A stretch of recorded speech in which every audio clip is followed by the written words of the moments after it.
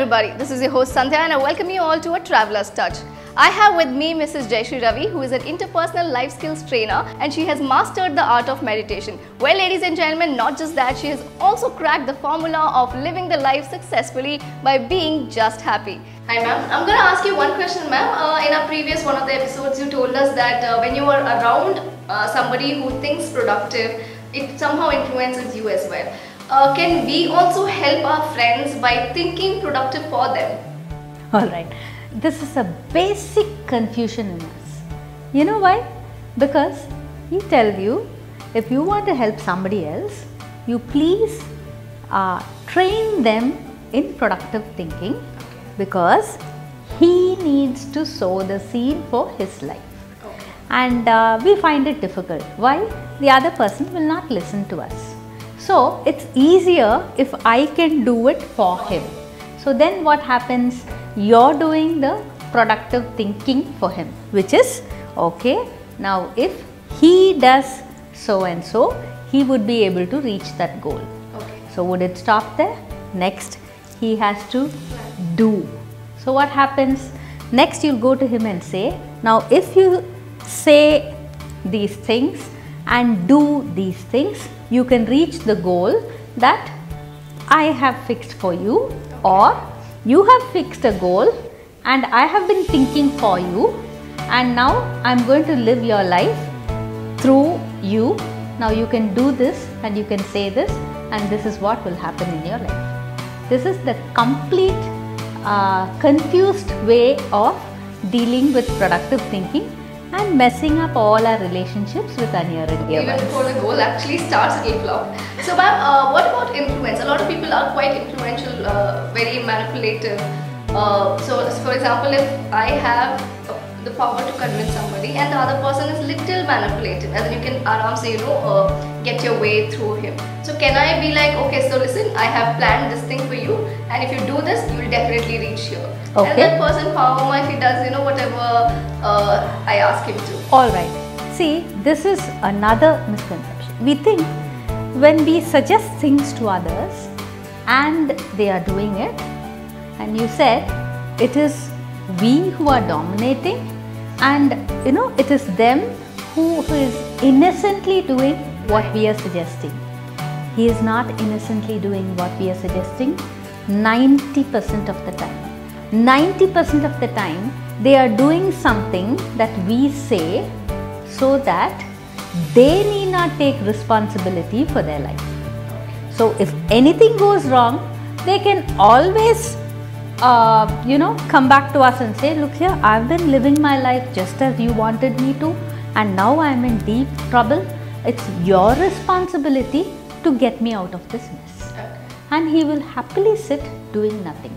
So, these are not the innocent people, these are the people that we need to be wary of in our life.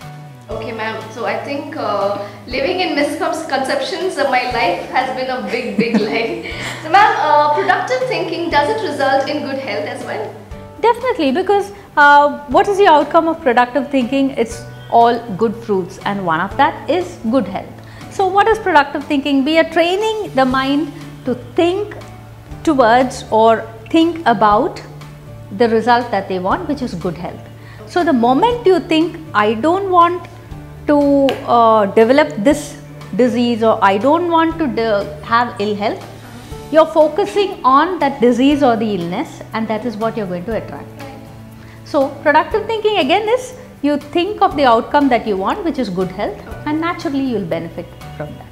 Okay, and if an idea is, uh, you know, if it is, if an idea is born out of productive thinking, what happens next? What is the outcome? It is true. When you are practicing productive thinking, there may be a lot of new ideas. Say you're uh, engaged in some business. What happens is you may come up with ideas because you're now here focusing only on what you want all the time. So, when you start focusing like this, that is when you realize how much time that you actually have which would have otherwise been wasted on worrying, being afraid as to what if it doesn't happen and it won't stop there. Then you'll think, okay, what if it doesn't happen? What else do I do? and it goes on a series of thoughts in which you would be wasting your time. So, when you're so focused, that is when you realize how much time you have on hand and how much more you can do.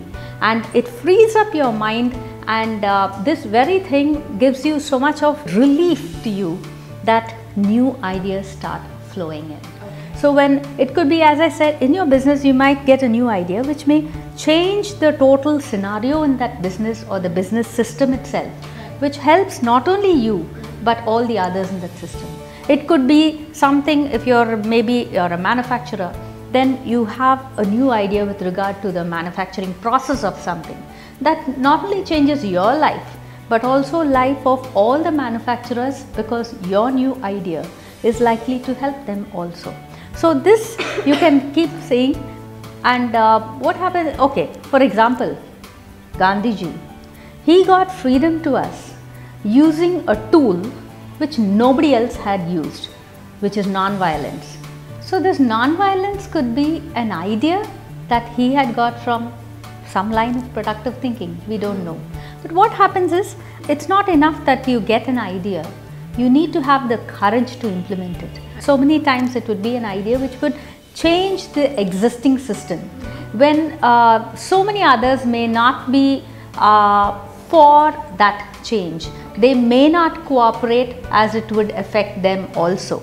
So that is when we need to take follow it up with the courage to implement the idea. Okay, so since we are talking about productive thinking and so many thoughts, I would like to take a little meditation tip over here. Uh, Ma'am, when we can we do you believe in uh, telepathy? Can we do telepathy with our friends? For example, if my friend is suffering from depression, Okay. and he or she is not ready to listen to whatever uh, you know con- consolation people are giving to him, if I want to help him uh, thought-wise, can I do a little bit of te- telepathy over there? All right. See, this friend of yours, how would he be able to help himself? He would have been able to help himself if he was able to meditate, which is again feeling happy and feeling grateful and focusing on his heart chakra. Now, he is not doing this. So, you need to do it for him, but this is how you need to do. You need to focus on him and you need to feel happy and grateful and focus on him and on the forehead chakra. So, when this happens, the vibrations that emanate from this meditation, which would otherwise go to you when you're constant focusing on the heart chakra, this would go to the person whom you're focusing on. Okay, great, great. So friends, today we spoke about a lot of things uh, in our episode. Thank you so much, ma'am. So friends, whatever questions you have, you can also post it as comments right below this video. Please subscribe to our YouTube channel to stay connected to some interesting tips from Mrs. Jeyasree Ravi.